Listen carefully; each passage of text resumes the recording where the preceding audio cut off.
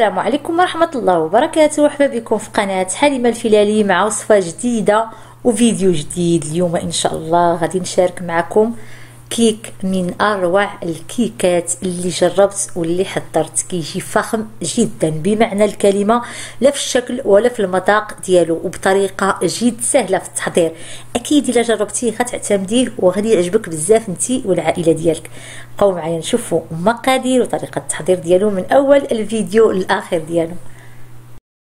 حاجة غنحضروا الكريمة. غادي نحتاجو 600 مليلتر من الحليب ما يعادل 3 ديال الكؤوس ديال العنبة.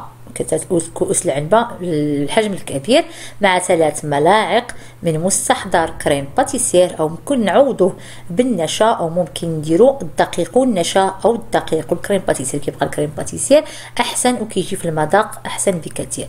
صافي غادي نضيف كيف قلت ثلاثة المعالق كبارين مع ثلاثة المعالق ديال السكر وكيبقى السكر على حساب الذوق. ثم غادي نخلطو باش يذوب المستحضر مع الحليب ونضيفو جوج ديال الأكياس من الكاكاو. إلا ما عندناش الكاكاو وعندنا الشكلاط ممكن طبعا ولكن ماشي دابا حتى كنخلطو وكيسخن الخليط عاد كنضيفوه في التالي باش كيذوب معاه. غادي نحاول نخلط مزيان ونوضعو فوق النار مع التحريك المستمر حتى كينسجموا يعني خصوصا الكاكاو مع باقي المكونات. وكيبدا كيغلي غير كيبدا كيغلي وكنشوفو بدا كيدير فقاعات مباشرة كنطفيو عليه ما كنطولوش به فوق النار. مع التحريك كيف قلت المستمر باش ما يلصق في القعر ديال الكاسرونة والنار تكون متوسطة حتى المهيله يعني ماشي مشكل. ها هو صافي غادي نطفي عليه ومباشره غنوضعو في إناء آخر اللي غادي نطلعو فيه من بعد الكريمة. يعني ممكن اننا نخليو في الكاسرونة ولكن ما تصلحش نطربو فيها. وغادي نغطيو بالبلاستيك الغذائي. واللي عندها الكريم باتيسير بنكهة الشوكولا أو ديال الشوكولاتة ممكن تستعملوا فقط مع الحليب بلا باقي يعني الكاكاو وداك الشيء. وداك الشيء. صافي غادي نوضع في الفيلم اليمونتير محطوط فوق منه مباشرة وكنضغطو باش ما يوصليش الهواء وتنشف لينا يعني الطبقة الفوقانية ودير لينا القشره خليوه يبرد مزيان. ونمشيو نوجدو الكيك. كنحتاجو جوج بيضات بحرارة الغرفة أو حرارة المطبخ يكونوا حجم كبير شيئا ما أو متوسط. غنضيفو معاه نصف كأس من السكر الخشن ما يعادل تقريبا 70 حتى 80 غرام. ثم القليل من الملح. غادي نطربو مزيان هاد المكونات مع بعضها. وممكن أننا نستعملو الخلاط الكهربائي ضفت كيس من الفانيلا باش تنسي ممكن نسمو باللي بغينا. كيف قلت نستعملوا طراب أو خلاط كهربائي على حسب المتوفر ثم ملي كنحصلوا على خليط أبيض وكطالع مزيان كنضيفوا نص كاس من الزيت النباتية ثم نص كاس من الحليب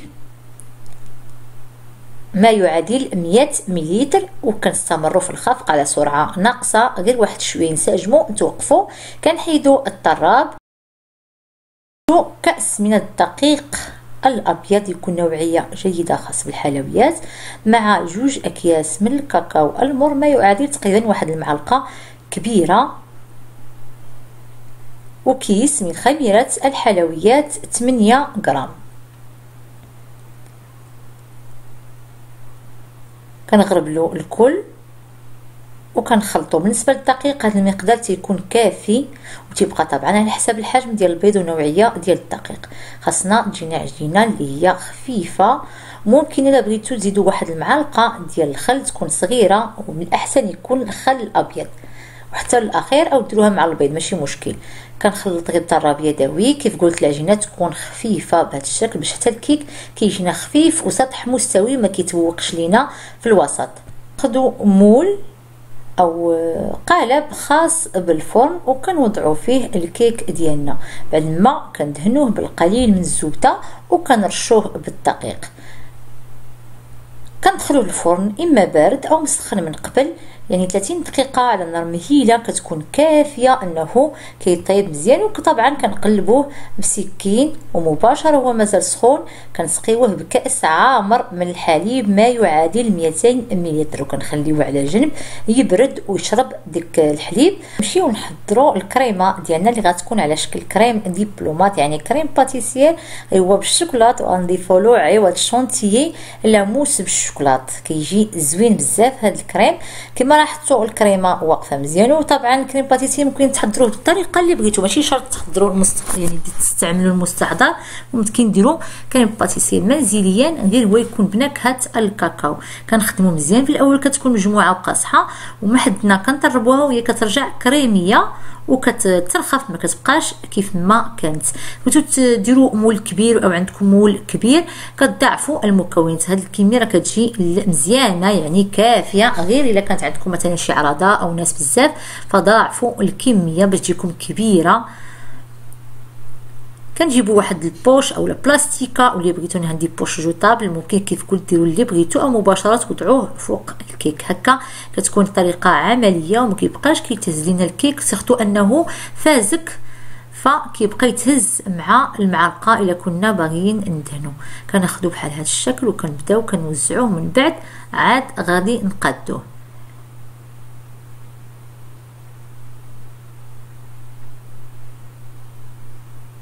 وبالنسبة لأي كيك بالشوكولات لا طاب أكثر من الجهد يعني هو ما تيبانش اللون ديالو في الطياب.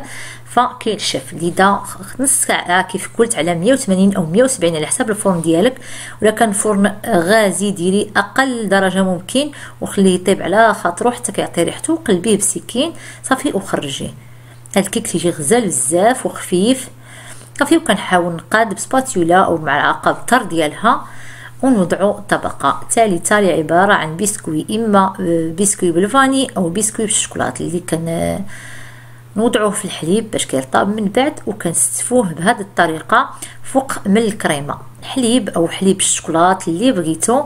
أنا كنت ناوية ندير بسكوي بالشوكولات وإنما لقيتو عندي مهرس فاضطريت ندير هذا. هذا مريا عادي وممكن ديروه مربع أو الموس اللي بغيتو أي بسكوي بغيتو أو تستغنيو على هذه المرحلة إلا ما بغيتوهاش. يعني كتعطيه منظر من الداخل وطبعا طعم حتى هو زوين بزاف. يعني إضافة اللي مهمة واللي طبعا كيف قلت ممكن الاستغناء عليها في حاله الا جاتكم يعني أنكم غتزيدوا البسكوي غتجيكم شوية زايدة في الثمن. صافي غادي نوضع الكريمة اللي بقات لي كاملة من الفوق ونحاول نقادها بهذا الشكل. ومن الأحسن في الأخير ناخذ اداه اللي كنقدو بها الكريمة تكون عندكم في الدار. خذوها البنات يعني هذا ال matériel اللي كنتو يعني من المدمنين أو المحبين لتحضير الحلويات بأنواعها مرة مرة خذوا أداة من الأدوات يعني حيدوها من الميزانية وشريوها وتبقى عندكم ما كتضيعش وتبقى مدى الحياة معكم. كتحتاجوها تحتاجوها وتوقفوا عليها أكيد تنفعكم صافي غادي نقادو بهذا الشكل.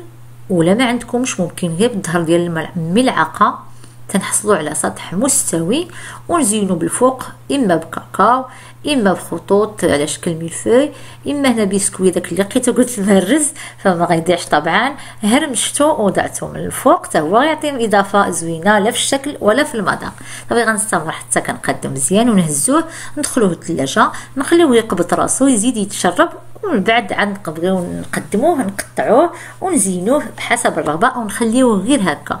التزيين كيبقى يعني لكم واسع النظر ممكن ديروا الإضافة اللي بغيتو واللي عندكم. ماشي مشكل. الأساس أن مذاق هائل كتجي خفيفة يعني شاربة مرطبة معلكه يعني كل المواصفات الزوينة اللي كتبغيوها بحال هذه الحلويات في هذا الكيك هذا. أنا درت شوية ديال ديال لي بسكويت بالشوكولاتة والكراميل هكذا. يعني كإضافة محفزة لضيافنا أو لوليداتنا أنهم يزيدوا ويعجبهم ويعني ويبغيو يأكلوه. وبلاش راه كيجي زوين. صافي وغادي نشوفوها كيفاش دايرة. ها هي عن قرب طبقة متماسكة كل ما خليتوها داك البسكوي وحتى الكيك كيزيد يتشرب وكيجي هائل جدا وكيستحق التجربة. كنتمنى هذا الفيديو ينال الإعجاب ديالكم وجربوا الوصفة. شكرا لكم بزاف على الدعم والتشجيع والى اللقاء في فيديو وصفة قادمة. إن شاء الله مع السلامة.